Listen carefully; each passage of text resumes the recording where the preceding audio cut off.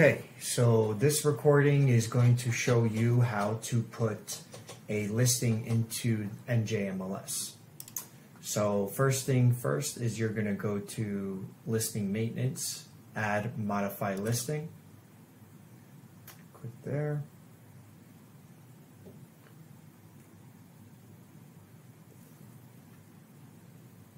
And then we're going to go and select the county.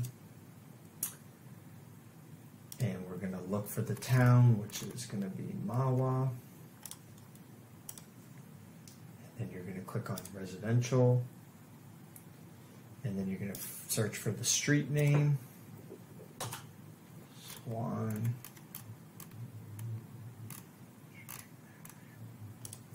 It's okay. 13. And this will help autofill everything. Click next. If that's correct, click autofill. And then we're going to start filling all this out. In my previous listing video on how to do the listing paperwork, everything is identical. So you can jump in between um, if you have everything signed, which I'm going to go to zip forms to show you. So go back here, documents, listing form, and here's all the information, which is identical to exactly what you're inputting on the MLS. So you just put the price, directions, I just do use GPS. Listing date is the date that you're going live with the listing. So let's just say uh, tomorrow. Okay. Uh, well, it can't be in the future, so you just say whatever today. Um, expiration date is the six months. October 26. And the phone number, um, you just want to put that so that you don't have their phone number revealed. Um, you could leave their names, it's not a big deal. Exceptions, no. Okay, and if there's uh, you or a co listing agent, you can just put their information here and search for them.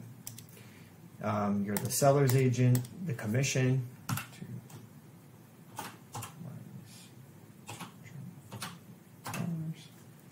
Okay. Dual commission agreement, yes, if you have that signed. Exclusive right to sell.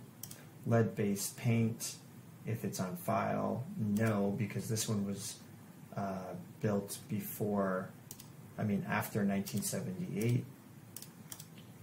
Um, short sale, that's a, you know, somebody that's in default, so that would not be this.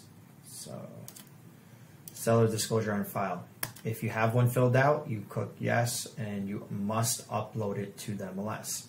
Okay, so here's a perfect example, trying to remember all the rooms and bedrooms. So it is four bedrooms, three full, one half, yes, master bath. Style is a colonial. Center hall, center hall, where the stairs are. Okay, taxes. Um, Monmouth tax. See, it didn't print out, it didn't fill out the taxes autofill, so we just got to make sure we have that, which is right here. And the taxes are 18,169. So we just do 18,169. Great. Um, the number of rooms, it should already be filled out, which is nine, nine rooms. So we're going to do nine. Okay, you don't need to fill out every single thing. Yellow uh, is where it's required. Um, if you want to put the dimensions and things like that, you can do that as well. Um, you should be able to pull that up on the tax records. Um, if you don't have it, then don't stress yourself about it. So this one, I don't have it. Um, you might be able to pull it up on the other tax records, but you can skip it. So sewer, municipal, water source, municipal. And then you're going to do the floors, okay? Ground floor is really for like split levels um, where you have so many floors. Um, in this case, it's just a colonial, so we're gonna do uh, first, second, uh, and the basement. So in this case, um, we have it right here: foyer, office, living room, dining room, eating kitchen, family room, powder room, laundry. So what we'll do is we'll just go back. You can only put so much in here, so you want foyer, office, living.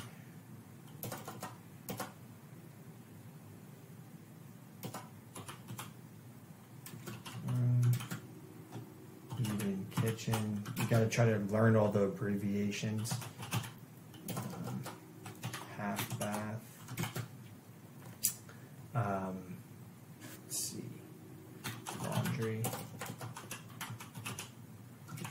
Dining room. Living room. Family room.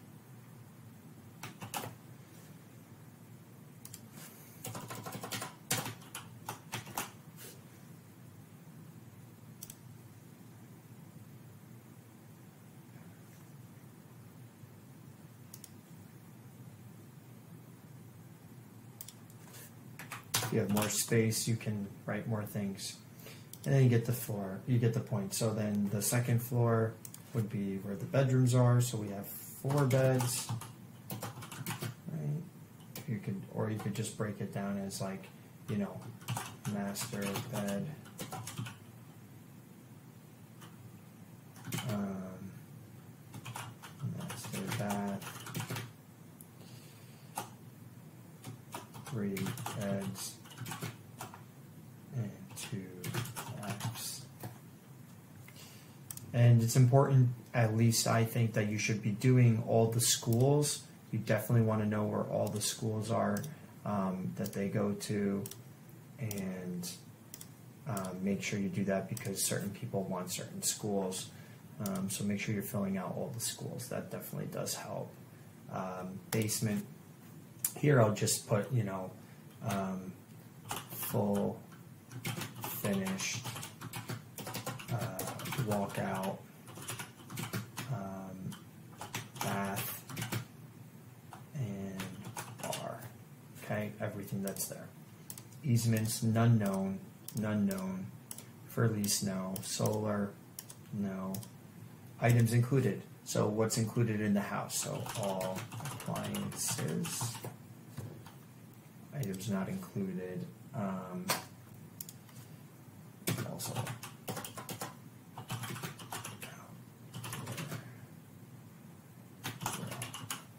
Okay. Not included. So maybe there's certain things that maybe they're taking uh, the dishwasher, refrigerator, whatever the case may be. You know, make sure you put that. So uh, usually a lot of people just put personal items, things that are not attached. Okay. Um, open house date. You can already get that going, so it's scheduled. Uh, we'll probably do Sunday on the first. We'll put in the time. Okay, the type of open house, it's in person. You can do a virtual URL, but we don't need that. Um, and then if you want to do like Saturday and Sunday, you can put both open houses in there. Uh, this is asking if you would want, if you would like NJMLS to take the photos. We say no. Um, should already have the photos done. This is the time that they're moving. The buyers can move into the house, um, so you need to know what that time frame is. So uh, in this case, it would be uh, zero to thirty days. Showing instructions. I love using ShowingTime. Uh, it just makes my life easier, the owner's life easier. So that's what I'll use. And then I'll just put it in here as please use showing time. That. Your remarks, you gotta type everything out.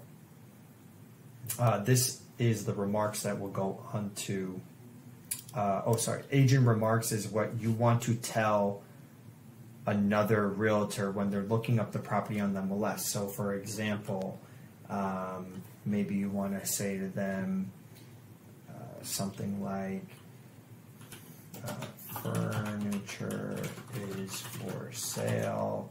Um, you can, whatever the case may be, maybe there's certain conditions or things that you need to uh, communicate to the agent. Okay, um, no customers will be able to see this.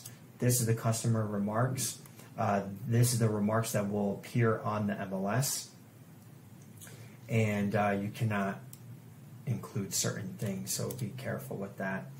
Um, then, what I usually do is after I write up my remarks of the property, like this beautiful center hall colonial sitting on 1.45 acres, uh, four bedroom, you know, you're explaining uh, everything about the home. I usually copy that and then paste it here. This is what goes to the internet, like as far as Zillow and Realtor.com and all those websites, the third party websites.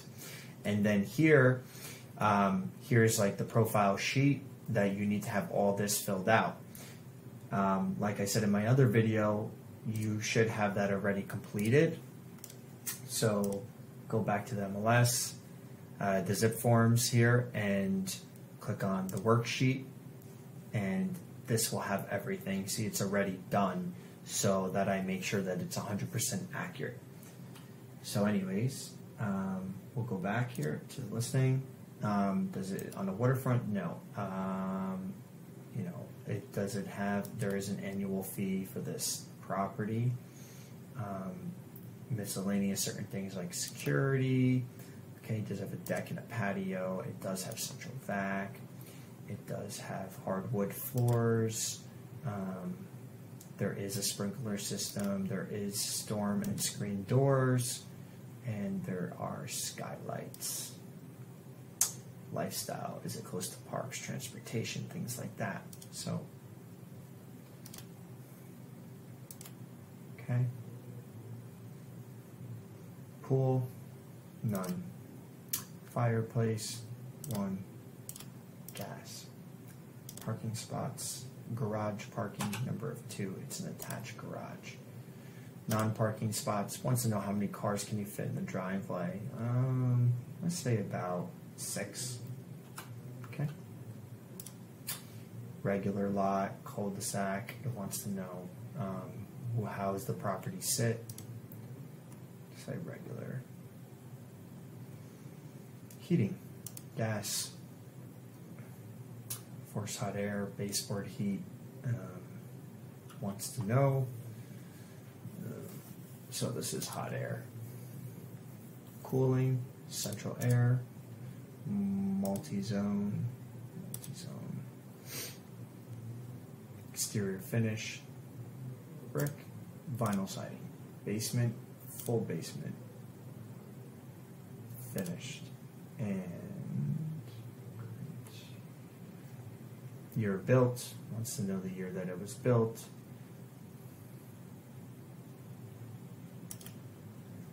Ownership, um, usually most of the time it's going to be private. That's if the owner owns it, uh, even if they have a mortgage. Um, and then floodplain, is it in a flood zone? Um, this is very important make sure you're checking that. And then additional, and just wants to know sort of sub style, just like we said before, a center stairwell.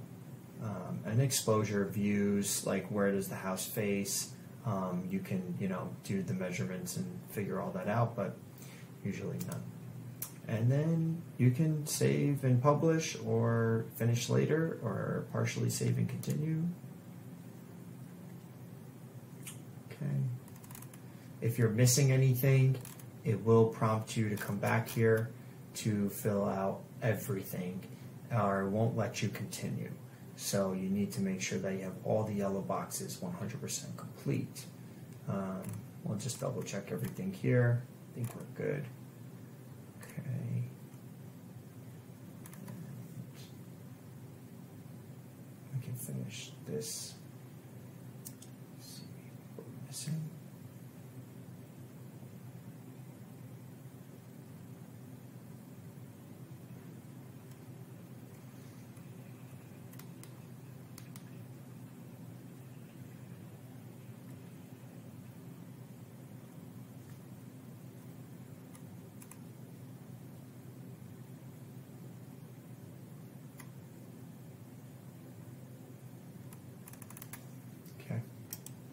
finish later. And that's it. And and then you can add the photos and complete everything uh, once you submit the listing. Thank you.